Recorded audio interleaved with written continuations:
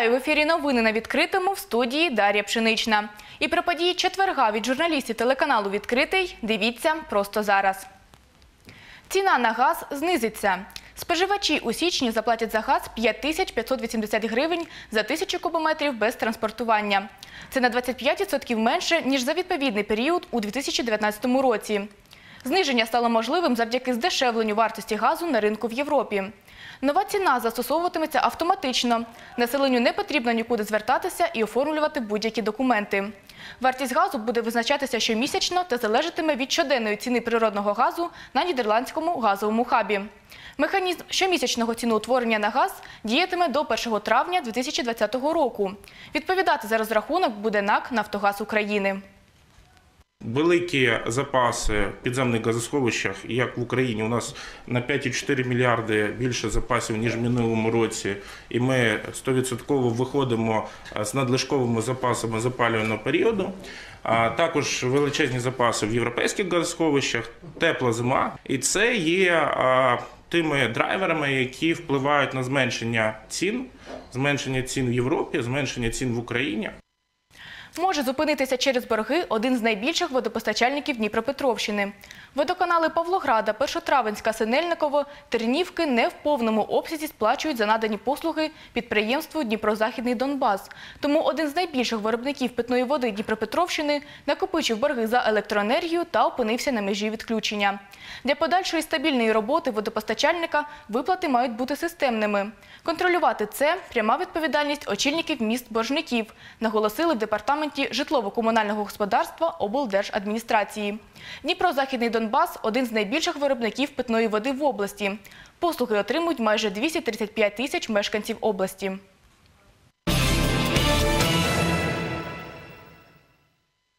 У Дніпрі чоловік потрапив під трамвай. Він перебігав через рейки в недозволеному місці. Трамвай збив його і протягнув декілька метрів. Постраждалий вижив, однак зараз знаходиться в комі. Щодня на лікування постраждалого рідні витрачають до півтори тисячі гривень. Допомагає фінансове і комунальне підприємство Дніпровський електротранспорт. Деталі дізнавалася Лідія Дмитрашко. 47-річний Григорій Бойко повертався від доньки додому. Приїздив, щоб побачитись з онуком. Коли перебігав дорогу, не помітив трамвая. Відтак через необачність потрапив під колеса. Він попав під трамвай, на, ну, як я знаю со слов, сразу визвали скору. Коли приїхала міліція, е, папи вже не було, його вже увезли. І вони почали оформляти ДТП. Писала одразу згоду на операцію. Операція длилась 4 або 4,5 часа. Чоловіка ошпиталили до лікарні Мечникова. У нього були черепно-мозкова травма, чисельні переломи ребер, ускладнене дихання. Лікарі прогнозів поки що не дають. Кажуть, на все потрібен час. Состояние больного остается тяжелым. Он был прооперирован на головном мозге. Сейчас уровень сознания кома-1.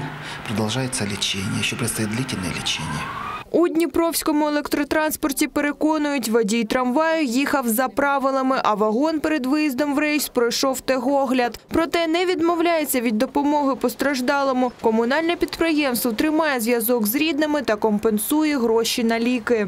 По предварительным данным, пешеход перебегал рельсовый путь э, в неустановленном месте для перехода в непосредственной близости от вагона, что заставило водителя трамвая применить экстренное торможение, но избежать происшествия не удалось. У депо наголошують, місце, де сталося ДТП, погано освітлено. Крім того, постраждалий був одягнений у темну куртку. Наразі в поліції відкрито кримінальне провадження. Тривають слідчі дії. Лідія Дмитрашко, Константин Кесар, Open News, телеканал «Відкритий». Друге життя. У селищі Чаплиному Васильківського району обласним коштом реконструюють опорну школу, якій понад два десятки років. Уже оновили покрівлю та вікна, утеплили підвал. Фасад термомодернізували і пофарбували. Тепер він привертає увагу 16 кольорами. Тривають роботи всередині.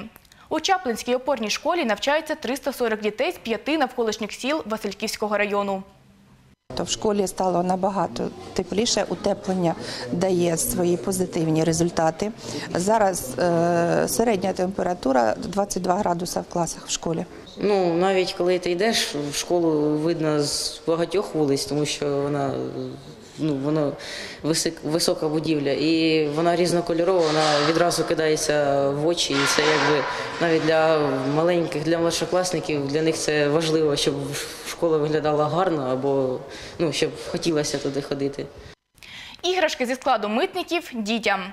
На складі рибного порту в Одеській області зберігають 23 тонни дитячих іграшок. В кінці 2019 року їх мали розмитнити, проте віддали державі. Володимир Зеленський запропонував роздати іграшки дітям. Уряд прийняв відповідне рішення.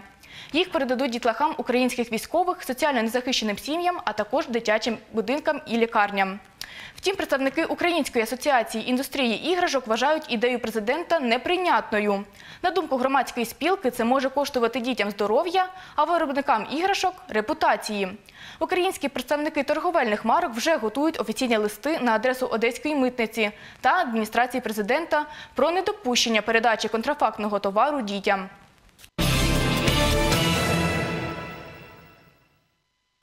Допомогли відчинити квартиру. У Дніпрі батьки не могли потрапити до помешкання, всередині якого знаходилися двоє малолітніх дівчат.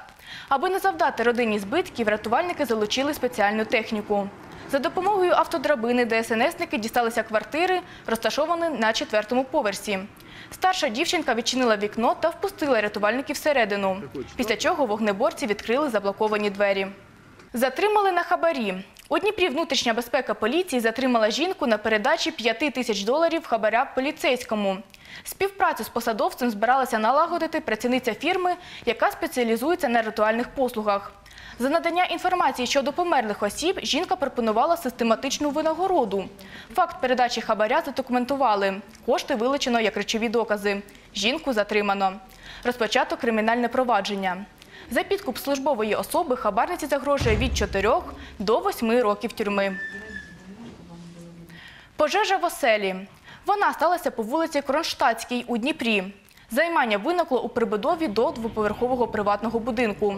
Розташований поруч гідрант виявився несправним, тож пожежники мали їхати до іншого, аби заправитися водою.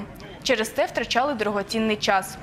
Вогнем знищено домашнє майно у підвальному приміщенні. Загиблих та постраждалих немає.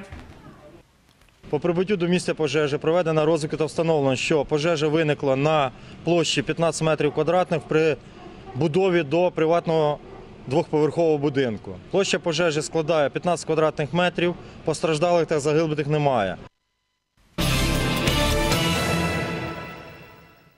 Війну кожен сприймає по-своєму. Хтось закривається в собі, дехто здається. Але є й такі, які не бояться брати на себе відповідальність та приймати сміливі рішення. Переселенка з Донеччини організувала у Дніпрі соціальний бізнес. Про це далі в сюжеті. Надія Дементьєва переїхала з родиною до Дніпра у 2014 році з Єнакієвого. Майже зразу після того, як місто окупували бандитські формування. До цього жінка працювала швачкою, чоловік на заводі. Але війна втрутилася в їхнє спокійне життя. Мы с семьей приехали в 2014 году э, в Днепр из города Янакиева.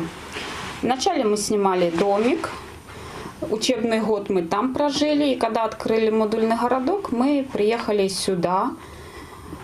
Э, Муж работал, а мне как-то скучно стало. Коли жінка зрозуміла, що назад вони не повернуться, почала думати над тим, як будувати своє життя у Дніпрі. Згадала про свою спеціальність швачки та почала працювати. У меня уже была своя машинка маленькая, и я начала принимать заказы у своих соседей. Заказы увеличивались, и я подумывала о том, что надо отдельное помещение.